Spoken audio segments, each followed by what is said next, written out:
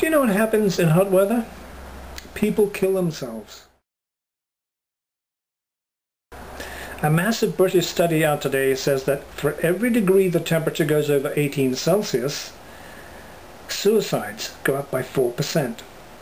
If you're watching this in North America, you're stickily aware that we're in the middle of a heat wave, so this ain't great news. And there are several explanations. The first one's pretty obvious. Folks get more irritable and aggressive in hot weather. More scientifically, scientists think a drop in the mood-controlling chemical serotonin may be the cause. And here's a surprise. The other factor in hot weather suicides, booze. Suicide usually progresses from severe depression, as I only know too well and I document in my book Am I Dead Yet? I too have attempted suicide once. It was the legacy of covering 36 war zones. I used pills. I failed. And that was just a couple of years ago. Another new study today says a stressful job could increase your chances of depression by a staggering 45%. Long hours, non-negotiable deadlines, and a high volume of work sounds like, just like me and dozens of my colleagues who I'm sure also like me suffer from severe chronic depression. Journalists see horrors in war zones that no, no human brain is wired to accept. Blown apart bodies, blown apart lives, suffering that is sometimes too hard to even look at. Yet we have to, we look, we report, and we pay the dramatic price, often years later. Now I want to put another personal face to the stats. A friend of mine, Brian, not a journalist, he, he, suffered terribly from depression. He would call me some nights and talk and often ramble for hours in desperation. But one night Brian disappeared. He waded into Lake Ontario and his body washed up three days later. Here's part of what I said at Brian's memorial service.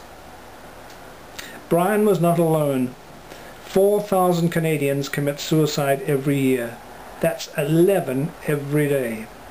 Three quarters of three quarters of them are men. Most are in the 25 to 45 age group. And there's more.